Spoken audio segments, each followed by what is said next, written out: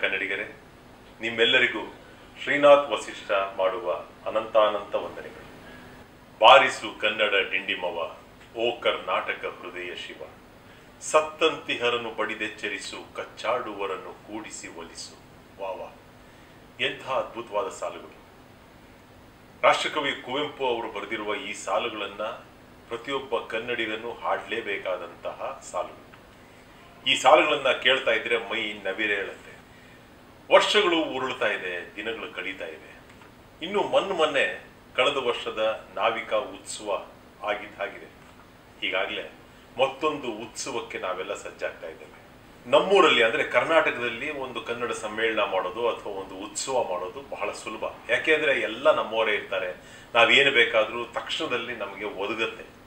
ಆದರೆ ಅಮೆರಿಕೆ ಅಂತ ಜಾಗದಲ್ಲಿ ಕನ್ನಡದವರು ಬಹಳ ಕಮ್ಮಿ ಜನ ಇರುವಂತಹ ಒಂದು ಪ್ರದೇಶದಲ್ಲಿ ಕನ್ನಡದ ಸಮ್ಮೇಳನವನ್ನು ಮಾಡೋದು, ಕನ್ನಡಿಗರನ್ನೆಲ್ಲ ಒಟ್ಟುಗೂಡಿಸೋದು ಬಹಳ ಕಷ್ಟವಾದಂತಹ ಒಂದು ಕೆಲಸ. ದಿನದಿಂದ ದಿನಕ್ಕೆ ನಿಮ್ಮೆಲ್ಲರ ಉತ್ಸಾಹ ನೋಡ್ತಾ ಇದ್ರೆ ನಿಮ್ಮೆಲ್ಲರಿಗೂ ಕೈ ಮುಗಿಬೇಕು ಅಂತ ಅನ್ಸುತ್ತೆ.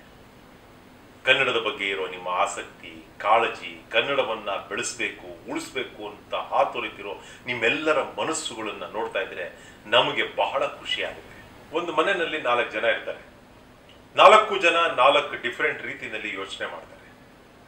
ಒಬ್ರು ಹೇಳಿದ್ದು ಒಬ್ರಿಗಾಗಲ್ಲ.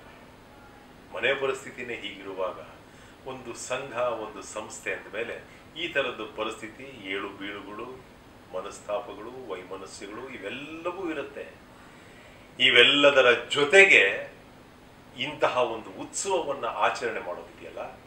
ನಿಜಕ್ಕೂ ನಿಜಕ್ಕೂ ನಿಮ್ಮೆಲ್ಲರಿಗೂ ನೂರು ನೂರು ಸಲಾಮುಗಳನ್ನು ನಾವೆಲ್ಲರೂ ಸಮರ್ಪಿಸಲೇಬೇಕು.